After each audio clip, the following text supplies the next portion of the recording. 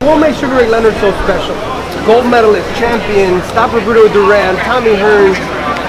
Medals, ring uh, uh, belts in different weight classes, fast, tenacious, heart of a lion. I mean, what more you want out of a champ, brother? How did you guys become friends?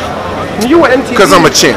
Okay. As well. You know, champs recognize champs. You know what I'm saying? See, I'm a champ of multimedia, TV, videos, movies, on the street. You know what I mean? Right here on your 4K. Now, do you follow boxing these days? Who are your Oh, yeah, favorite yeah. fighters? Um, I like Triple G. Uh, obviously, Floyd Mayweather. Hopefully, he could get one more fight before it's over. Um, also, like uh, there was a fight last weekend that was actually really good. Lomachenko Linares. Yes, wasn't that a good fight? Yo, man, my man is nice. So I'm, I'm watching him now. He's an up and coming guy. Um, it's really now the smaller guys got the better fights. You know what I mean? But back in the day, it used to be the big heavyweight guys. All the great fights are the guys that are like middleweights and lightweights. Canelo Triple G rematch. Who you like? Yes. Um, I go in Triple G. I'm going Triple G.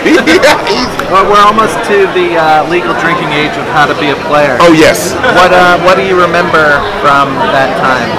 Most about the movie. Yeah. I just remember how much fun it was to make, and I just remember when How to Be a Player came out, how, the response from the people. You know what I mean? It was like every guy's dream to be able to have these many chicks in one day, and I did it. I loved it.